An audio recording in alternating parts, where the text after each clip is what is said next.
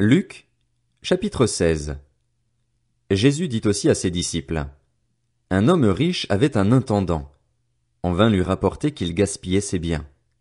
Il l'appela et lui dit, Qu'est-ce que j'entends dire à ton sujet? Rends compte de ta gestion, car tu ne pourras plus gérer mes biens. L'intendant se dit en lui-même, Que vais-je faire, puisque mon maître m'enlève la gestion de ses biens? Travailler la terre? Je n'en ai pas la force. Mendier? J'en ai honte. Je sais ce que je ferai pour qu'il y ait des gens qui m'accueillent chez eux quand je serai renvoyé de mon emploi. Il fit venir chacun des débiteurs de son maître et dit au premier. Combien dois-tu à mon maître? Je dois cent tonneaux d'huile d'olive, répondit-il. Il lui dit. Voici ton reçu, assieds-toi vite et écris cinquante. Il dit ensuite à un autre. Et toi? Combien dois-tu?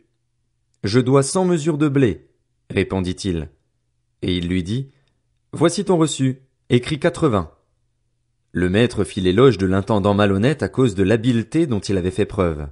En effet, les enfants de ce monde sont plus habiles vis-à-vis de leur génération que ne le sont les enfants de la lumière. Et moi, je vous dis, faites-vous des amis avec les richesses injustes, afin qu'ils vous accueillent dans les habitations éternelles lorsqu'elles viendront à vous manquer. Celui qui est fidèle dans les petites choses l'est aussi dans les grandes, et celui qui est malhonnête dans les petites choses l'est aussi dans les grandes. Si donc vous n'avez pas été fidèle dans les richesses injustes, qui vous confiera les biens véritables? Et si vous n'avez pas été fidèle dans ce qui est à autrui, qui vous donnera ce qui est à vous? Aucun serviteur ne peut servir deux maîtres, car ou il détestera le premier et aimera le second, ou il s'attachera au premier et méprisera le second. Vous ne pouvez pas servir Dieu et l'argent. En entendant tout cela, les pharisiens qui aimaient l'argent se moquaient de lui. Jésus leur dit, Vous, vous cherchez à paraître juste devant les hommes, mais Dieu connaît votre cœur. De fait, ce qui est très estimé parmi les hommes est abominable devant Dieu. La loi et les prophètes ont subsisté jusqu'à Jean. Depuis lors, la bonne nouvelle du royaume de Dieu est annoncée et chacun cherche avec force à y entrer. Le ciel et la terre disparaîtront plus facilement que ne tombera un seul trait de l'être de la loi. Tout homme qui renvoie sa femme et en épouse une autre commet un adultère, et tout homme qui épouse une femme divorcée de son mari commet un adultère.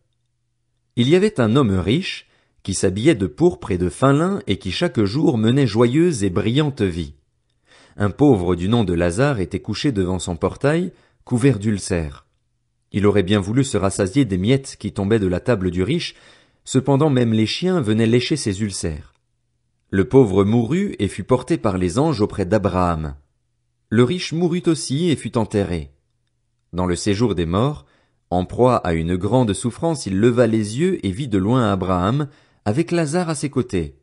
Il s'écria, Père Abraham, aie pitié de moi et envoie Lazare pour qu'il trempe le bout de son doigt dans l'eau afin de me rafraîchir la langue, car je souffre cruellement dans cette flamme. Abraham répondit, Mon enfant, Souviens-toi que tu as reçu tes biens pendant ta vie et que Lazare a connu les maux pendant la sienne. Maintenant, il est consolé ici et toi, tu souffres.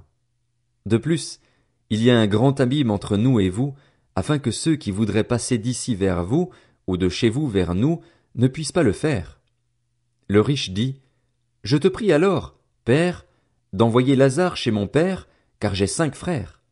C'est pour qu'ils les avertissent, afin qu'ils n'aboutissent pas, eux aussi, dans ce lieu de souffrance. Abraham lui répondit, Ils ont Moïse et les prophètes, qu'ils les écoutent.